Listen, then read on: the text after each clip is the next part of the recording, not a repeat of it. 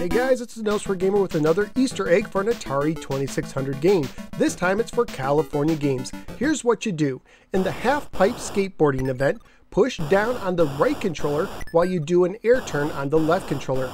Every time you do this, instead of getting a score, you will see the initials SAB for Steve A. Baker, one of the game's programmers and you still get points for doing this. Usually tricks like this were done because the programmers didn't get credit in the early days, but what's ironic about this trick is that Steve Baker still got credit at the beginning of the game, yet still hid his initials for us to find, which I think is still kinda neat.